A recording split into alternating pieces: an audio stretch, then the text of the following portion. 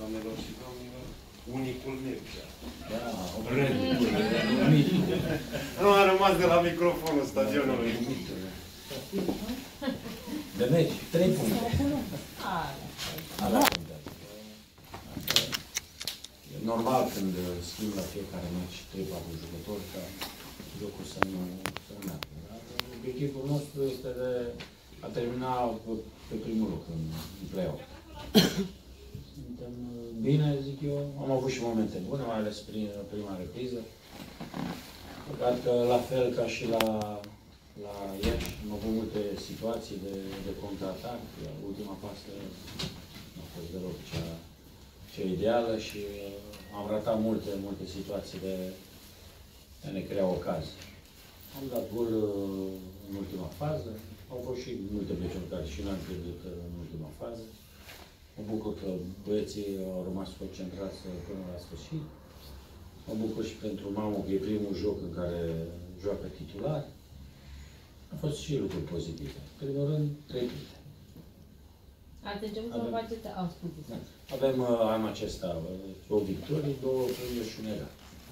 Deci, uh, lucrurile sunt uh, pozitive. Am zis jocul. Jocul suferă, dar e normal. Și meciul următor, la fel, vor fi schimbări. Uh, Revin uh, în lot și Lina și, și Filip, plus Reda, care a fost suspendat. Și normal că uh, ei vor juca. Ar fi altfel jocul dacă ar fi și mai mulți oameni în tribune? Sunt sigur că ar fi. Și ar fi fost și alt joc dacă joci în play-off. Asta e play-off. Uitați-vă și la celelalte partide. Doar uh, mize pentru cei care luptă să retrogradeze și având presiune mare, ei nu, nici nu riscă, ei se gândesc cum să obțină cele trei puncte și iar jocul nu e de o calitate foarte bună. Am văzut multe partide și uh, din punctul ăsta de vedere, nu știu, play-out-ul ăsta, în afară de uh, echipele, unul se luptă pentru să nu retrogradeze, restul nu știu ce, ce ambiții noastre. De aia spun, dacă tot am preluat uh, din Belgia sistemul ăsta cu play-out și play-out, dai șansă și la primul loc din play-out să joace în cupele europene. Și atunci alte vor fi, vor fi și uh, evoluțiile echipelor și implicațiile suporterilor, dar nu se mai ales vă spun că vă, îmi doresc foarte mult să, să câștigăm la, la voluntari, după care să dau posibilitatea și jucătorilor tineri care s-au antrenat cu mine în această perioadă. De la începutul anului, că am luat pe 5-6 jucători și aș vrea să le dau și lor șansa să debuteze la Dinamo. Puțin spectatori, dar nervoși. Au fost o fază la final când... Dar n-am înțeles ce.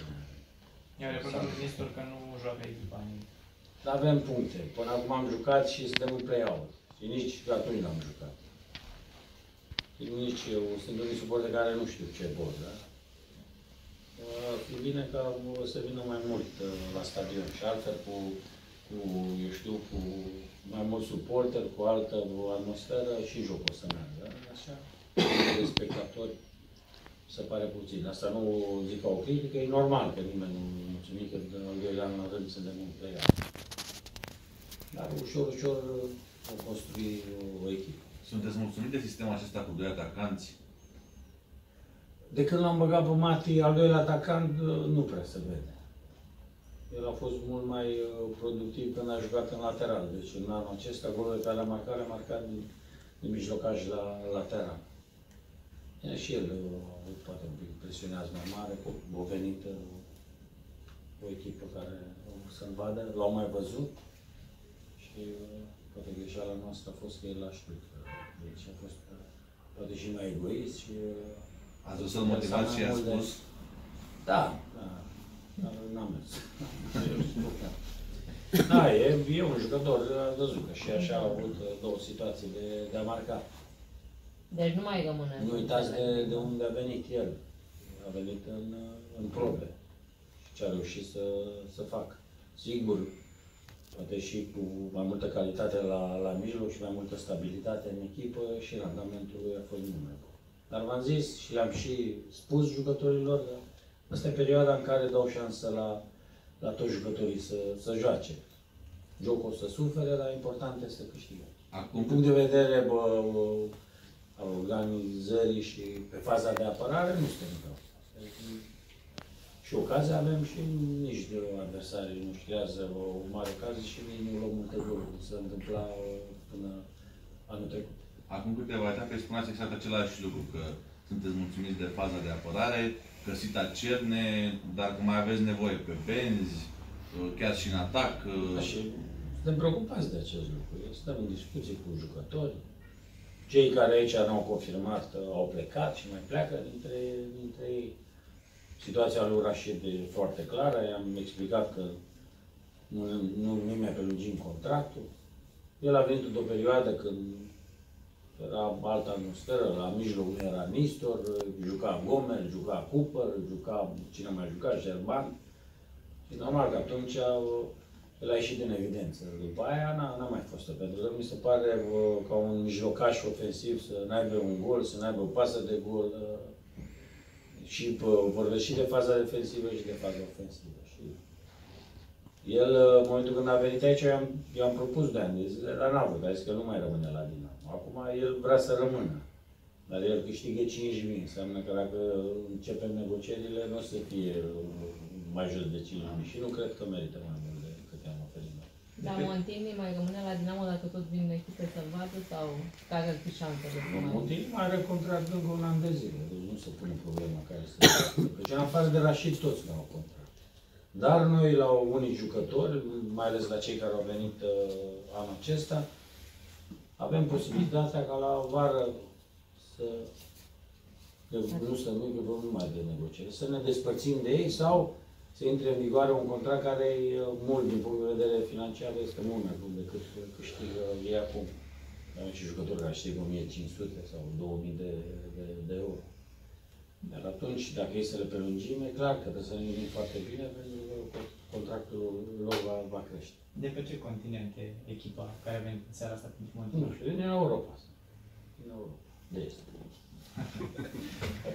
Ținând cont de nivelul care uh, e în uh, play-off, îți pare și mai tare rău că nu, nu jucați acolo?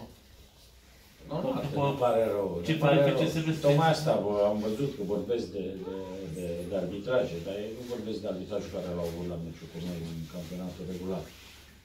Au fost greșeli, dar au fost un, un joc la, la limită. Normal că și ei au presiune foarte mare că, ca să scape de o zona fierbinte. Noi vrem să, să adunăm cât mai multe, cât mai multe puncte. Dar vă spun, nu pot să zic că am văzut nici în play un joc extraordinar care să să mă facă să zic, da, e o echipă care merită să ia titlul. Ați văzut și CFR Cluj, joacă la rezultat. Asta e situația acum și noi la fel facem în perioada asta, jucăm să adunăm cât mai multe puncte și eu să dau posibilitatea ca toți jucătorii de aici să, să joace și să poată să se exprime bă, foarte bine că dacă vor să continue uh, cu Dinamo. E transmis un mesaj lui Răzvan Lucescu. I-am Uh, transmis, da. Mm.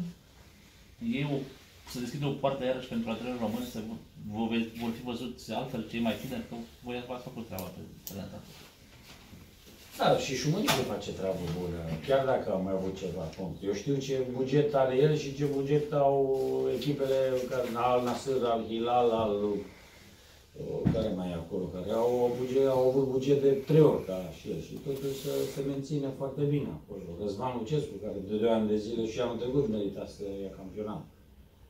Uh, și eu am o imagine foarte bună în Belgia.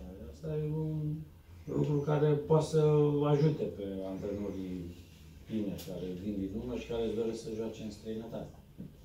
E bine pentru imaginea fotbalului românesc și pentru imaginea antrenorilor. Avem antrenori buni. Știți care sunt problemele la noi. Nu poți să faci e, echipă care, eu știu, să te gândești că intri sigur în grupele Europa League sau în Champions League dacă nu investești. Văd care e situația la echipa noastră. Foarte greu să, să, să reușești pe, pe plan internațional dacă nu se investește și bă, nu se aduc uh, jucători. Dar și nici stadion a văzut că oamenii au și rezultate. De-aia vin o mie de, de suporteri, sau peste o mie. Își doresc un stadion. de aia noi facem eforturi mari ca sezonul următor, toate meciurile de acasă să le jucăm pe arena. Cum mai stați cu lojile? Ați mai... Stăm bine, mai sunt patru libere. Aveți doar patru libere. Patru libere. Și am lucru bun. Cine le Și nu cumpără? fac probleme. poftim? Cine, cine cumpără? Cine închiriază? Sunt mulți suporteri adevărat, care au bani și care măcar lucrul ăsta să facă. Și plus ne bazăm pe, uh, pe abonamente, plus pe suporterii care vor veni la meciuri și nu o să fie probleme ca să ne achităm, uh, uh, cum să zic, uh, toată asta. Chiria. Chiria. E, Lupta la titlu s-a încheiat aseară?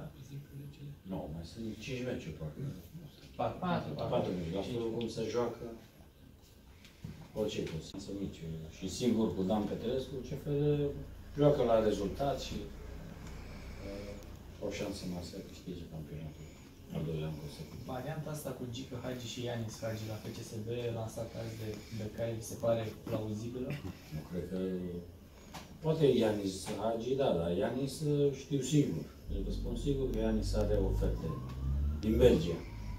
Acum nu știu dacă și din alte țări, dar din Belgia are sigur. Pentru că sunt prieteni pe care îi cunosc și impresari care îl urmăresc și m-au întrebat de, de el.